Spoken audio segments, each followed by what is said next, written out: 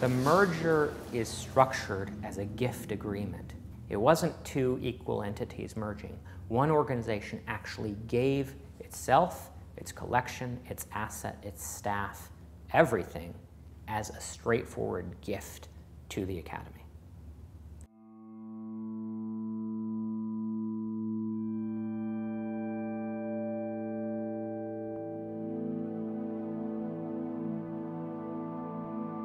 The Honolulu Academy of Arts is, is an extraordinary building, a historic building with what, six major courtyards, 45,000 works, encyclopedic.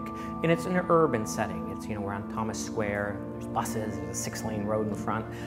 I think we would describe it as a mid-sized museum. However, it's fairly large, and uh, the, the, the building itself was designed by Bertram Goodhue in the early 20s and it's designed around a courtyard system where you can go in and out of the galleries. Um, and that creates this wonderfully intimate uh, experience for viewers that is connected directly to the experience of Hawaii and nature.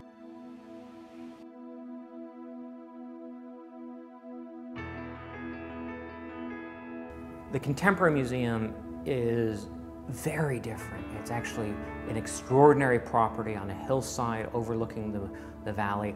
Not very big, not huge gallery spaces, but the place there, the Cooke Spalding House place, is just beautiful gardens. Collection of about 3,000 works, contemporary, well, since 1945 or so. The gallery is about 5,000 square feet and it's separated kind of like a home. So we consider each gallery space like a size of a bedroom and we can actually curate an entire exhibition throughout the entire museum or we can break them up into have five, six, seven um, smaller exhibitions within a larger context. Well, I think, it, you know, for any museum, um, but I think specifically for this site and this place, the environment really adds to a visitor's experience. Um, contemporary art, sometimes people think is a little hard to grasp or understand, but when you're walking in the gardens, you're contemplating the foliage, seeing the rain come from the sky, having the wind sweep through the monkey pod tree, it really adds an element to your day and to your visitor's experience. So I think it's really something special to be able to view contemporary art um, inside, outside. When I first heard about what the two museums were considering, which is basically to bring the Contemporary Museum and the Academy together as one entity. I thought it was a no-brainer. I just thought it was so obvious. It was interesting then to enter these conversations in January and see what people were negotiating and how they were thinking about it. What struck me was both institutions saw themselves to some degree as either oppositional or complementary to each other. So the Contemporary Museum would compare itself to the Academy, the Academy would compare itself to the Contemporary, but the reality is the interesting conversation is a global conversation. I want the Academy to be comparing itself to Tokyo or Berlin, right? And I think that bringing them together, my hope, opens up a broader conversation between us and the world and making sure when people come here, they're interested and engaged in a great conversation. Uh, we call it Gallery 27. That's an internal name. Gallery 27 is simply the 27th gallery. They're numbered sequentially. We're choosing now to show contemporary art. Initially, when the curator presented the plan for Gallery 27, he was very smart. It was presenting a much more conservative exhibition. I had initially done a proposal for uh, an exhibition on from the collections on abstraction and involving you know sort of all of the really major works from both collections. It was abstract expressionist paintings, color field school paintings, a little bit after that, because he was trying to figure out how not to upset the apple cart, right? Not to push our audience at the Academy too quickly, too far. And I talked to him and I said, well, strategically, I don't want that. I want you to flip the apple cart over. And so he left it open to me to come up with something, and I sort of arbitrarily chose as a working title Anxiety's Edge because in thinking about a lot of the works in the collection, I knew I could put together an interesting group. So Gallery 27 is now going to be the contemporary holdings or collection and gallery space and Jay Jensen, um, the Contemporary Museum's chief curator and deputy director of exhibitions, um, put together an exhibition called Anxiety's Edge. So using contemporary works um, in all media, sculpture, um, works on paper, photography, to create a, a new installation that was, was really thought-provoking, really to add a different look to it. I want things that are going to stress people who hate contemporary art out.